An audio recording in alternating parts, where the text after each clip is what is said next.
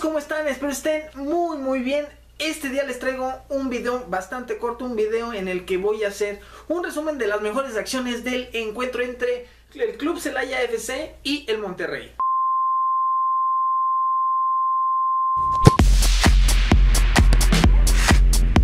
Como podrán ver, atrás de mí estará apareciendo todo el video con las mejores acciones del encuentro y pues bueno, vamos a comenzar. Realmente me deja un grato sabor de boca el ver que el Club Celaya FC por momentos fue mejor que el Club Monterrey. Sin embargo, ellos sí aplicaron la famosísima ley de el que perdona pierde. Durante los primeros 25-30 minutos del primer tiempo, el Club Celaya FC estuvo a tope, pasando el balón de un lado a otro, eh, haciendo ver en ciertos momentos incómodo al club Monterrey. Y bien dicen, en la Copa los equipos del ascenso siempre se agranan contra los equipos de primera división.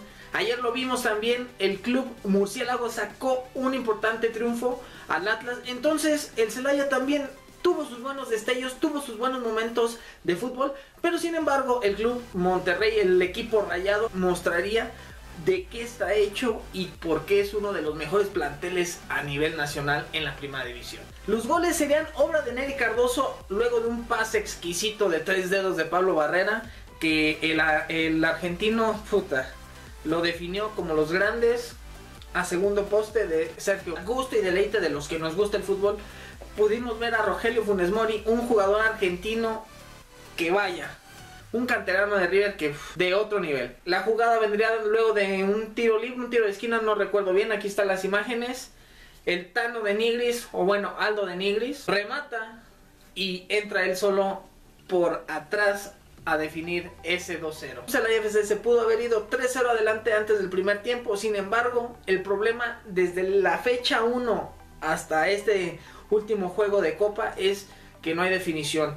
Lo que sí debo reconocer es que un jugador como Rafa Murguía es de los mejores en comer las espaldas, rematando, sin embargo no se le ha dado el gol. Y pues bueno, ante un grande como lo es Monterrey en plantilla, fallar tanto porque la primera que tenga, sin duda te la va a meter. Bueno banda, hasta aquí el video, espero les haya gustado. Si te gustó dame una manita arriba, ya sabes, acá abajo en la descripción dejo todas mis redes sociales.